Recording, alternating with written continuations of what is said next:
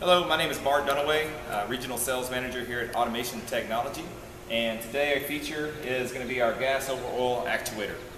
Due to the fact that this actuator is going to go onto a liquid pipeline, uh, therefore it couldn't have been a, a, direct gas actuator, so we had to provide the power also, and are going to provide them with some nitrogen bottle racks uh, to open and close this valve. Uh, the gas over oil actuator is going to have three ways that you can operate it. It can be remotely, it can be locally, or it can be manually. Okay, the first open and close mode we're going to talk about is going to be the remotely. So um, if somebody's out in the control tower somewhere and they want to open and close the valve, it's directly wired into um, our control panel here with the solenoids. Um, they can simply click a button to open or to close it and the valve will open and close based on what they need.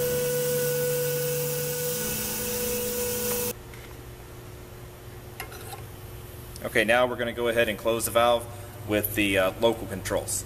All we're going to do is simply turn it left to close, and the valve is going to close. The third option to open and close the valve is going to be our manual override, which is our hand pump right here. Um, it strictly uh, opens and closes the valve based on pumping the hydraulic fluid.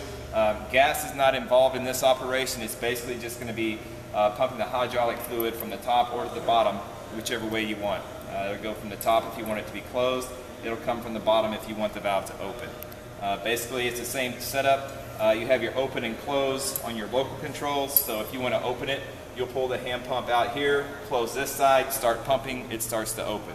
Close, same thing. Push this in, pull this side out, and okay, it starts to close. The way this is going to operate is once the gas is uh, pushed through the actuator um, and through the tanks, on the right-hand side, the gas is going to come in, it's going to come into the top, it's going to force the hydraulic fluid down, which is coming up and through here, and it's coming up into the bottom of this hydraulic cylinder, which is going to make the piston rise. Um, and then the opposite way, the gas is going to be coming in the top on the left-hand side. It's going to be pushing the hydraulic fluid in through there, where it's coming in to the top of the cylinder, and therefore it's going to be forcing the piston down.